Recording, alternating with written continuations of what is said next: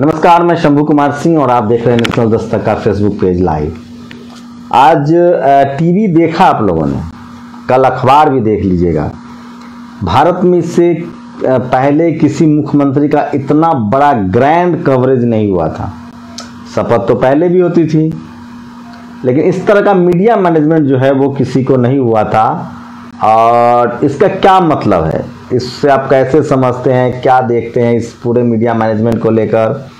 और आप लोग की क्या राय है? अपनी राय भी ज़रूर बताइएगा। और आप चाहे तो हमें कमेंट भी कर सकते हैं सीधा। और क्या मतलब है इसका? और सबसे पहली बात, क्या आप उम्मीद कर सकते थे कि कोई और राजनीतिक दल, केशव प्रसाद मौर्य जो चुनाव हार जाते हैं, उनको डिप्टी सीएम बनाया जाता है? क्योंकि वो ओबीसी के एक बड़े चेहरा है।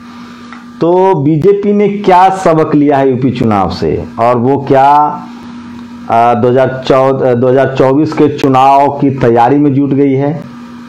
और ये जो पूरा शपथ ग्रहण समारोह हुआ, वो उस स्टेडियम में हुआ जहाँ अखिलेश यादव ने बनाया है।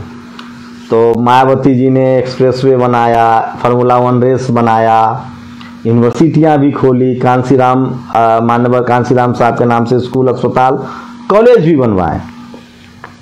अखिलेश यादव ने भी उस काम को आगे बढ़ाया, स्टेडियम बनाया, मेट्रो बनाया, एक्सप्रेसवे बनाया, फिर भी वो चुनाव हार गए। मायावती जी भी चुनाव हार गई बीजेपी चुनाव जीत रही है। उन्होंने कोई एक्सप्रेसवे, अभी पूर्वांचल अखिलेश का दावा है कि मैंने बनाया। लेकिन बीजेपी ने पाँच पाँच किलो राशन दिए हैं। बदले में स्कूल, कॉलेज में कटौती हो रही है। बीजेपी को पता है कि इस बार चुनाव में उसे क्या झेलना पड़ा है, कैसे वो चुनाव जीती है। इंट्रोस्पेक्शन कर रही है वो। और सोचिए, कोई पार्टी जीते हुए किसी नेता को डिप्टी सीएम बना रही है, जिसका योगी जी से बिल्कुल छत्तीस का आंकड़ा था। इतना डिले क्यों हो रहा था शपथ ग्रहण समारोह में? आपको क्या लगता है? यही बात नहीं बन रही थी। लेकिन बीजेपी को पता चल गया है कि S C, S, T, O, B, C के लोग एकजुट हो रहे हैं, माइनॉरिटी के लोग एकजुट हो रहे हैं, और हर बार उनको कुछ ना कुछ लाना पड़ेगा आगे। और इसलिए ओबीसी के बड़े चेहरा को मुख्यमंत्री बनाया गया है। मैं फिर कह रहा हूँ कि बीजेपी की जो आइडियोलॉजी है, कांग्रेस की जो आइडियोलॉजी है, जो सवन लीडरशिप वाली पार्टियाँ हैं, उसमें एस सी के रिज़र्व सीट तो आते ही हैं। ओबीसी के चाहे जितना नेता डाल लो, जितने मुख्यमंत्री बना लो, वो सोशल जस्टिस की लड़ाई को आगे नहीं बढ़ा सकते हैं, क्योंकि वो उनके डीएनए में नहीं है। वो रिजर्वेशन की लड़ाई को आगे नहीं बढ़ा सकते हैं। वो स्कूल, कॉलेज, यूनिवर्सिटी नहीं खोलेंगे। वो सरकारी अस्पताल नहीं बनाएँगे, वो सरकारी संस्थाएँ नहीं बनाएँगे, उसको बंद करेंगे। क्योंकि सरकारी संस्थाएँ जितनी ज़्यादा बनेंगी, college, university, medical college, university, I, engineering college, उतना ज़्यादा कास्ट रारकी टूटेगा। जातिवाद खत्म होगा, संविधान मज़बूत होगा और लोग अपने अधिकारों के लिए सजग होंगे।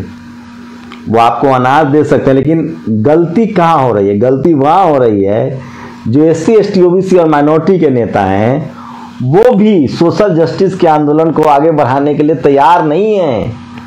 उनको भी लगता है कि जो बीजेपी गाय गोबर गौमूत्र और आइडियोलॉजी की राजनीति करती है, वो राजनीति करके वो भी चुनाव जीत लेंगे। ऐसा नहीं है। आपके पास ब्यूरोक्रेट्स नहीं है। आपके पास जैसे सवर्ण समाज की जो गोलबंदी है, वैसी जो आरक्षण के खिलाफ अच्छा बताइए सवर्ण समाज बीजेपी को क्यों वोट देता है? वो सिर्फ़ इसलिए वोट देता है कि वो मुसलमानों को टाइट रखे और सवर्ण समाज आरक्षण खत्म हो और इकोनॉमिक वीकर सेक्शन का उनको आरक्षण मिल गया। लेकिन हमारे नेता ये नहीं कर सकते। अब सोचिए बीजेपी की पॉलिसी कितनी अच्छी है। हारे हुए को भी मुख्यमंत्री डिप्टी सीएम बना सकते हैं। मतलब वो सबसे बात कर रही है। भले वो पार्टी खा जाए वही बिहार में काम जो आदमी आपका पैर पकड़ेगा वही गर्दन भी पकड़ेगा। तो सोचिए बिहार में वो अ, मुकेश सहनी की पार्टी का विलय करवा लेती है। वहीं यूपी में वो निषाद समाज निषाद पार्टी को अपने पाले में रखती है। ओपी राजभर के साथ क्या हुआ आपको पता है? तो क्या लगता है ये सब समझने की कोशिश की? मैं फिर अभी भी कह रहा हूँ कि चाहे वो मायावती जी की पार्टी हो, चाहे अखिलेश यादव की पार्टी हो, चाहे आरजेडी हो, वो कुछ भी उसमें सारे के सारे सवर्ण भर जाएँगे, उसके बाद भी वो सोशल जस्टिस के खिलाफ कम से कम नहीं जाएगी। उसको इम्प्लीमेंट ना करे अच्छे से स्टालिन की तरह, लेकिन वो उसके खिलाफ नहीं जाएगी।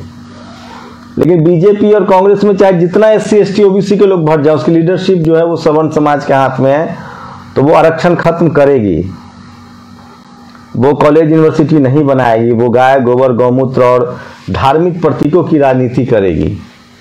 लेकिन गलती यहाँ ये है जो जो हमारी दूसरी पीढ़ी के नेता हैं, जो सड़कों से नहीं आए हैं, जिन्होंने आंदोलन नहीं देखा है, अच्छी बात है, लेकिन कम से कम उन्होंने अगर सोशल जस्टिस देखा है तो मुझे लगता है कि जो जो ला, मुलायम सिंह यादव, लालू यादव, शिबू सोरेन, करुणानिधि, स्टालिन जो लड़ाई लड़ रहे हैं, वो भागीदारी की लड़ाई लड़ रहे थे, वो सर्वाइवल की लड़ाई लड़ रहे थे। हमारे जो सेकेंड लीडरशिप है, आज मैं एक पोस्ट देख रहा था बी एल संतोष हैं। वो बी एल संतोष जो है, वो आर एस एस के आर एस एस से हैं और पार्टी में बड़ा कद है उनका बीजेपी वो कह रहे हैं कि पाँच तस्वीरें देखिए, गडकरी राजनाथ सिंह नड्डा, प्रधानमंत्री मोदी। प्रधानमंत्री मोदी, राजनाथ सिंह, गडकरी, नड्डा और एक कोई और और अमित शाह। माफ़ कीजिए, अमित शाह। ये पाँच लोग हैं और ये पाँचों की पारिवारिक पृष्ठभूमि राजनीति नहीं है। मतलब ये पाँचों आरएसएस की आइडियोलॉजी से पक के निकले हैं। क्या आप कल्पना कर सकते हैं कि कहीं गलती नहीं हो रही है जो हमारी लीडरशिप है, चाहे वो चिराग पासवान हो, चाहे वो तेजस्वी यादव हो, चाहे अखिलेश यादव हो, या फिर हेमंत सोरेन हो। इन सब लोगों को सड़क से राजनीति नहीं मिली है, इनको परिवार से राजनीति मिली है। उसमें कोई अपराध नहीं है। लेकिन वो धार जो आप खोज रहे हैं, वो धार नहीं मिलेगी। उस धार के लिए तो आपको उपेंद्र कुशवाहा, वो नीतीश जी, रामविलास पासवान, लालू यादव के साथ समाप्त होगा। नीतीश जी तो खैर आज उनकी तस्वीरें देख रहा था। बहुत कंप्रोमाइजिंग मोड में है वो। और क्या कर सकते हैं? तीस विधायकों के साथ मुख्यमंत्री बने रहना आसान काम होता है क्या? खैर। तो ऐसा भी नहीं कि इन लोगों में धार नहीं हो सकती, लेकिन सबसे बड़ी दिक्कत यह है कि क्या इनके पास कोई थिंक टैंक है? बिहार चुनाव हो रहा था, मुझे बताया गया कि तेजस्वी यादव का कहना है कि हम हार्डलाइनर को दूर रखेंगे। और उन्होंने राजपूत अपना अध्यक्ष बनाया और राजपूत समाज को जोड़ने की कोशिश की, आनंद मोहन की पत्नी लवली आनंद को जोड़ने की कोशिश की, उनके बेटे को टिकट दिया। उनको उम्मीद थी कि कांग्रेस को उन्होंने बहुत ज़्यादा टिकट दिया। तो उनको उम्मीद थी कि कांग्रेस के बहाने कुछ ब्राह्मण और भूमिहार वोट मिल जाएँगे, राजपूत उनको वोट कर देंगे, ऐसा नहीं हुआ। अखिलेश जी ने भी इसी तरह से स्थितियाँ की। लेकिन मैं फिर कह रहा हूँ कि इस देश में जो वोटिंग पैटर्न है कोई मुसलमान जैसे ओवैसी की पार्टी है, उसको शेड्यूल कास्ट वोट नहीं देती है, वो कहती है कि यार ये मुसलमानों की पार्टी है, जब तक गठबंधन हो, वही मायावती जी और ओवैसी अगर साथ लड़े तो शेड्यूल कास्ट और मुस्लिम वोट एक दूसरे को दे सकते हैं। उसी तरह से मायावती की पार्टी को पिछड़े वोट नहीं करते हैं, या रामविलास जी की पार्टी को कहते हैं कि शेड्यूल कास्ट की पार्टी है, जब तक गठबंधन ना हो। चाहे रामविलास पासवान, लालू यादव में गठबंधन हो तो वोट ट्रांसफ़र हो सकता है। मायावती जी और अखिलेश यादव में गठबंधन हो तो वोट ट्रांसफ़र हो सकता है। उसी तरह से पिछड़ों की पार्टी को सवर्ण समाज के लोग वोट नहीं देते हैं। कहते हैं कि ये सव, ये पिछड़ों की पार्टी है। जब तक गठबंधन ना हो, जैसे नीतीश कुमार बीजेपी का गठबंधन ना हो तो सवर्ण नीतीश जी को वोट नहीं करेगा। उसी तरह से सवर्ण समाज किसी को वोट नहीं करता है जब तक गठबंधन हो। लेकिन वोट देने की प्रक्रिया समझिए। मुस्लिम धार्मिक वजह से बीजेपी को वोट नहीं करता है, बाकी सभी दलों को वोट करता है। शेड्यूल कास्ट के लोग सबको वोट करते हैं। वो बीजेपी को वोट देते हैं धर्म के नाम पर। और जो धर्म से निकल चुके हैं, वो S C S T OBC को अखिलेश को भी वोट करते हैं, मायावती जी को वोट करते हैं, सोशल जस्टिस और बाबा साहेब और अम्बेडकरिज्म के नाम पर। पिछड़ा जो बहुजन आंदोलन को समझता है, सोशल जस्टिस को समझता है, वो अखिलेश को भी वोट करता है, बहन जी को भी वोट करता है। अगर जो धार्मिक के आधार पर जो वोट करता है, वो सिर्फ़ बीजेपी को वोट करता है। उसी तरह से सवर्ण समाज के लोग हैं, वो सिर्फ़ और सिर्फ़ धार्मिक वजहों से और आरक्षण खत्म करने के नाम पर बीजेपी को वोट करता है। आ, तो ये एक बड़ा पॉइंट है जो बहुजन नेताओं को समझना पड़ेगा। बीजेपी समझ चुकी है। बीजेपी को पता है कि वो कुछ भी कर लेगी। धर्म की राजनीति में मुसलमान उसे वोट नहीं करेगा। तो वो मुसलमान को टिकट नहीं देते हैं और वो उस टिकट को खपाते हैं अति पिछड़ों में। वही काम अगर अखिलेश यादव और और तेजस्वी यादव करने लगे, तमाम बहुजन लीडरशिप वाली पार्टियाँ करें कि सवर्ण समाज को नहीं दे, और उसके बाद आइडियोलॉजी पर आना होगा। अगर गाय, गोबर, गौमूत्र, धर्म मंदिर, ये सारे राजनीतिक एजेंडा है बीजेपी को तो उनको हराने के लिए आपको सोशल जस्टिस की बात आपको कहना पड़ेगा। सोशल जस्टिस की लड़ाई आपको लड़नी पड़ेगी सोशल जस्टिस की बात करनी पड़ेगी। मुसलमान भी 90 परसेंट ओबीसी कैटेगरी में उनको भी आपको कहना पड़ेगा कि सोशल जस्टिस मतलब उसमें आप भी हैं। तो ईवीएम तो है ही वो हम सब जानते हैं लेकिन मैं एक सोशल कंट्रीब्यूशन सामाजिक समय दूसरी बड़ी बात है कि आपको बात करनी पड़ेगी। आपके पास टीवी चैनल्स नहीं है सोशल मीडिया पर पत्रकार नहीं है आ, संसाधन नहीं है ये भी बड़ी समस्या है। तो संसाधन पर भी बात करनी पड़ेगी और आ, सत्ता अगर आपको मिल जाता है तो आप आइडियोलॉजिकली काम नहीं करेंगे तो सत्ता को बनाए नहीं रख सकते हैं। तो बीजेपी ने केशव प्रसाद मौर्य को इसलिए दिया है क्योंकि उनको 2024 का भी चुनाव लड़ना है और वहाँ इस बार बहुत बड़े पैमाने पर ओबीसी के जो सामाजिक जागरूकता आई है, सोचिए।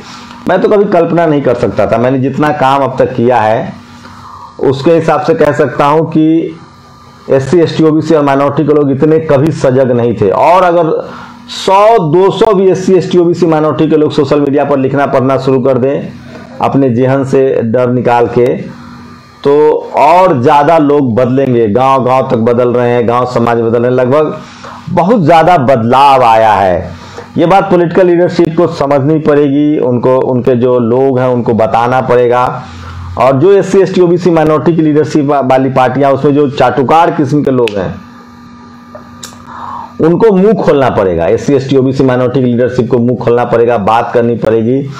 नहीं तो मैं यकीन के साथ कह रहा हूँ कि जो हमारी सेकेंड जनरेशन लीडरशिप है आ, वो सत्ता में तो नहीं आ सकते हैं। वो सुरक्षित रहेंगे उनका उनके उनकी लिजेंडी बची रहेगी लोग उनसे मिलते रहेंगे क्योंकि वो पोलिटिकल लीडरशिप में है। लेकिन आ, समाज बहुत पीछे चला जा रहा है और मैं एक बार फिर कह रहा हूँ कि एक दिन वो भी सुरक्षित नहीं रहेंगे। अगर ये समाज ही सुरक्षित नहीं रहा तो। तो ये तमाम चीज़ें हैं जो आपको समझनी पड़ेगी। लोगों को एक दूसरे से बात करना पड़ेगा, मिलना पड़ेगा रिच में आना पड़ेगा ट्वेंटी फोर सेवन काम करना पड़ेगा। लेकिन सबसे ज़्यादा जो मुश्किल है वो S C S T O B C minority के उन लोगों की है, बढ़ने, बढ़ रही है, जो जो मीडिया में है जुडिशरी में है ब्यूरोक्रेसी में है कॉलेज यूनिवर्सिटी में है। और जो चुप नहीं रह सकते हैं, जो जो न्याय की बात कर रहे हैं, जो फूले पेरियार अंबेडकर की आइडियोलॉजी की बात कर रहे हैं, उनके लिए मुश्किल उनको लगता है कि ऐसा नहीं है। हमें कुछ भी मुफ़्त में नहीं मिला है, इसकी हमारे हमारे बाप दादाओं ने कुर्बानी दी है। रही बात सेकेंड जनरेशन लीडरशिप की तो उनसे अभी भी उम्मीद है। शायद वो एक दूसरे की बात को समझे, देर सवेर ज़रूर समझेंगे। लगातार हार इंसान को सिखाता तो ज़रूर है। और वो सीखेंगे भी। और उनको बीजेपी की तरफ़ दिल दिखाना पड़ेगा अपने लोगों से मिलना पड़ेगा। सोचिए आप यूपी में जिस तरह से अखिलेश यादव ने एमएलसी का टिकट बांटा है। अगर उसमें S C S T OBC minority का अलायंस होता तो ज़्यादा बेहतर होता। पता नहीं कौन लोग हैं जो इनको एडवाइस करते हैं। और आ, आ, मतलब मुझे लगता है कि जो वो लोग हैं तमाम लोग हैं सवन समाज के जो लोग हैं इनके आसपास वो इन सब बातों को उनको नहीं बता सकते हैं क्योंकि उनकी समझ भी नहीं इन सब बातों के लिए। उसके लिए उनको दिलीप मंडल जैसे अशोक दास जैसे सुमित चौहान जैसे तमाम जो सोशल एक्टिविस्ट हैं प्रोफेसर विवेक हैं नितिन मिश्राम हैं मीना कोटवाल है निधि रतन है ऐसे तमाम S C S T O B C minority के लोगों को अपने साथ जोड़ना पड़ेगा। इंटेलेक्चुअल्स जोड़ने पड़ेंगे। आ, ये ना समझे उनको कि उनको जो भी मिला है वो आज जनता उनको अखिलेश यादव हो, तेजस्वी यादव हो, या हेमंत सोरेन हो, या फिर तमाम बहुजन लीडरशिप हो, जो जो सेकेंड जनरेशन उनको इसलिए प्यार करती है क्योंकि उनके पेरेंट्स ने, उनके परिवार ने बड़ी कुर्बानियाँ दी हैं समाज के लिए। समाज पर उन्होंने समाज की लड़ाई लड़ी है, समाज का बड़ा भला किया है। इसलिए उनको प्यार करती है, लेकिन उनकी ज़िम्मेदारी बड़ी है। उनको समझना पड़ेगा कि जिस समाज से वो आते हैं वो खतरे में है, डेमोक्रेसी खतरे में है, लोग बहुत डरे, सहमे हैं। और हमें बहुजन समाज के लोगों से मैं गुजारिश कर रहा हूँ कि आपको सड़क के नेता को गले लगाना पड़ेगा। अगर आप सड़क के नेता को गले नहीं लगाएँगे तो यकीन मानिए लड़ाई बहुत कमज़ोर पड़ जाएगी। मैं ये नहीं कह रहा हूँ, मैं किसी के खिलाफ नहीं बोल रहा हूँ, जो जो, जिनको पारिवारिक वजह से राजनीति में आए हैं, उनका भी सम्मान है, लेकिन नए लोगों को आपको मौका देना पड़ेगा। और जो एक बहुजन समाज में जो एक इनसिक्योरिटी है जो नेताओं की, वो दूर होनी चाहिए। आप भले मुख्यमंत्री बनिए, मुख्यमंत्री का पद आपने रिज़र्व रखा है, मुख्यमंत्री बनिए, राष्ट्रीय अध्यक्ष का पद रिज़र्व है, वो भी बनिए, लेकिन कम से कम नए लोगों को जो जो जेल जा रहे हैं, जो तमाम तरह की तकलीफें उठा रहे हैं, जो कुर्बानियाँ झेल रहे हैं। सोचिए मुलायम सिंह यादव कैसे नेता बने, क्योंकि उनको लोहिया ने मौका दिया। लालू यादव जी कैसे नेता बने, जब उनको शरद यादव, कर्पूरी ठाकुर और तमाम लोगों ने उनको बीपी सिंह ने बीपी सिंह हो माफ़ कीजिएगा चौधरी चरण सिंह हो रा, राम मनोहर लोहिया हो जयप्रकाश जी हो इन लोगों ने उनको मौका दिया आगे का। तो आपको भी मौका देना चाहिए। जो तमाम आपकी ही पार्टी में बहुत सारे ऐसे सोशल स्तर पे काम करने वाले युवा हैं आरजेडी ने पिछली बार अच्छा टिकट भी दिया था अखिलेश जी ने भी इस बार कुछ लोगों को टिकट दिया था इस तरह के लोगों को। तो उनको आगे आने का आपको मौका देना पड़ेगा। और और दूसरी बात कि आपको हर समाज से एक लीडरशिप देनी पड़ेगी समझना पड़ेगा और आ, मुझे लगता है कि इसके लिए बहुजन समाज को अपने स्तर से भी काम करना पड़ेगा और जो जागरूकता मैं फिर कह रहा हूँ मैं शेड्यूल कास्ट का बहुत एहसानमंद हूँ। जो लोग सबसे ज़्यादा पे बैक टू सोसाइटी करते हैं सबसे ज़्यादा बहुजन आंदोलन को चला रहे हैं पूरे पेरियार, अंबेडकर और संविधान को बचाने की लड़ाई लड़ रहे हैं। बिना किसी संसाधन के। उनके युवा बहुत संख्या में जेल जा रहे हैं। ओबीसी के जो लोग हैं, उनको समझना पड़ेगा आरक्षण की लड़ाई जब तक नेता इस पर बात नहीं करेंगे। टेलीविज़न अखबार है नहीं आपके पास, सोशल मीडिया पर आप बात कर सकते हैं। रोज रिजर्वेशन के साथ खिलवाड़ होता है। उस पर मैं देखता हूँ कि S C S T OBC minority की लीडरशिप में बिल्कुल वो संवेदनाएँ नहीं है, वो बात नहीं करते हैं। सोचिए, एक दिलीप मंडल पूरे लगभग 10 करोड़ से ज़्यादा व्यूअरशिप को मोबिलाइज करते हैं और उनको रोज बताते हैं कि कहाँ आरक्षण खत्म हो रहा है, कहाँ जातिवाद बढ़ रहा है, कहाँ सारी समस्याएँ हैं। बीजेपी की तरफ़ बड़ा दिल दिखाना पड़ेगा आपको। बीजेपी ने जो बड़ा दिल दिखाया, मैं फिर कह रहा हूँ कि बीजेपी से आप और कांग्रेस से आप सोशल जस्टिस की उम्मीद नहीं कर सकते। उनकी आइडियोलॉजी ही नहीं है। लक्ष्मण यादव ने ठीक ही कहा है कि सोशल जस्टिस और पाखंड एक साथ नहीं चल सकता है। धार्मिक राजनीति और सोशल जस्टिस एक साथ नहीं चल सकता है।